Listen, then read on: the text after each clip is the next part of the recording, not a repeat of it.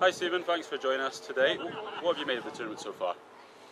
I think it's terrific. You know, I think that uh, in terms of bringing people closer to your club and involved in your club, is vital. You know, and wandering around the grounds and, and speaking to, to many individuals have had a terrific day and uh, you know the, the kids seem to have thoroughly enjoyed themselves so you know it's certainly a, a worthwhile exercise and a, a terrific example to, to other clubs of how to, to bring uh, people closer to the club.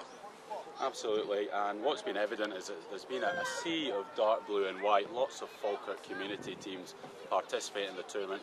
How important is it for professional clubs to go right to the bottom level and involve the, the community teams?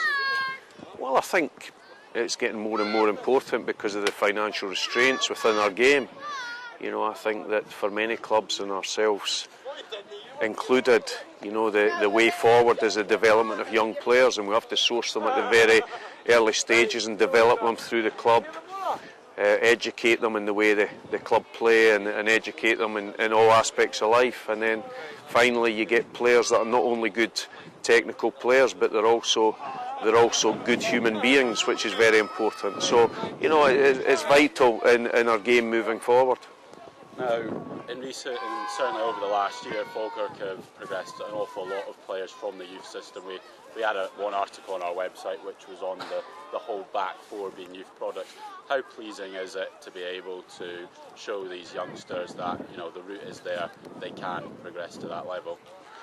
Well, I think the only way they can see that is by the evidence itself, and the evidence is there. You know, I think in our last home game we had 11 academy players involved in the 16-man uh, squad, so uh, certainly the proof's in the pudding at this football club.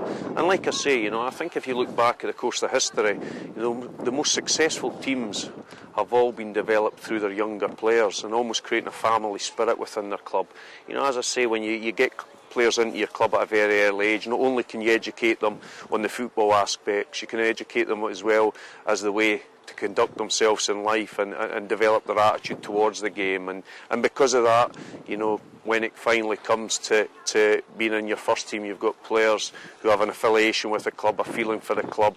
And, and as I've said, the history will show you if you look back at the great Leeds United team, the Manchester United team, the great Liverpool team, the vast majority of these players have been products of their youth. Fantastic, Steven. Just one last question for you. Who did you play for as a kid, as a youth player?